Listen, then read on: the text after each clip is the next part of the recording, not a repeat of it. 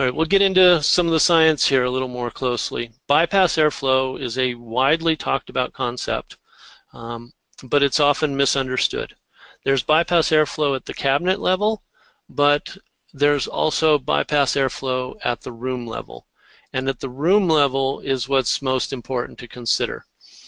So in these next three slides, they represent either a small room or, or uh, all the infrastructure in the room is condensed down into these two rows of equipment and this one cooling unit.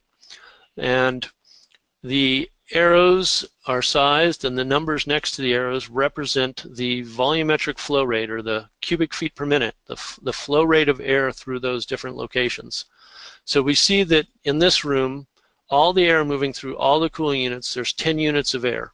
And it doesn't matter whether it's cubic feet per minute or liters per second. Uh, it's just a, a, flow rate, and the relative uh, quantities are what's important uh, to learn from.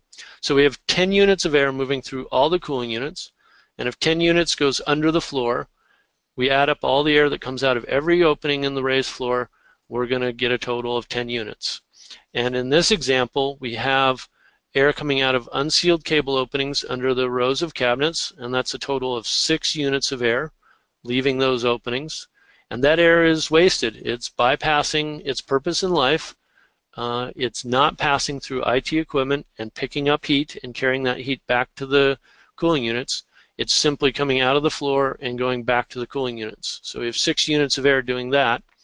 We have four units of air coming into a cold aisle. And uh, supplying the IT equipment in that row.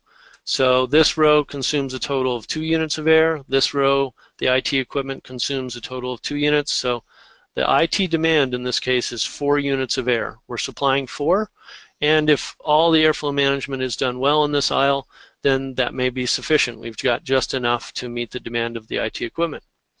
So we look at this and we see absolutely we should seal these cable openings. The misconception is that by sealing those cable openings, we are then reducing or even uh, eliminating the amount of bypass airflow in the room. And that's not the case. We're just shifting the location of where that air comes out of the floor. We still have 10 units of air going under the floor, and now all of that air is coming out into the cold aisle. But the IT equipment still only needs four units of air. It sucks up what it's need what it needs, and now we have six units of bypass airflow leaving the cold aisle and returning to the cooling units.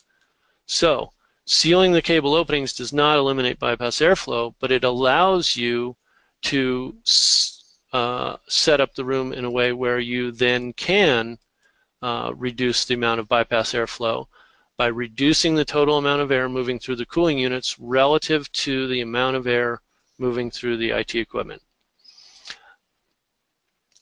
The amount of air moving through the IT equipment is independent of the amount of air moving through the cooling units. They're, they're totally separate.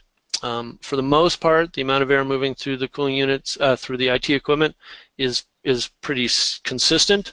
There's some variations on occasion as uh, equipment ramps up and ramps down, but in a fairly large size room, those tend to, to level out, even out, and, and there's a fairly consistent demand of IT equipment.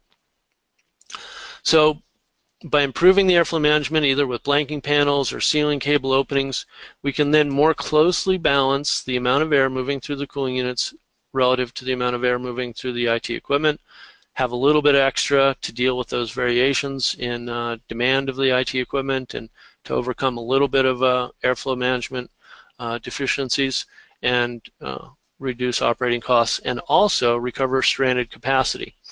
We've now recovered five units of, uh, of airflow that as we add more cabinets that's available and the, the fans can be uh, increased again.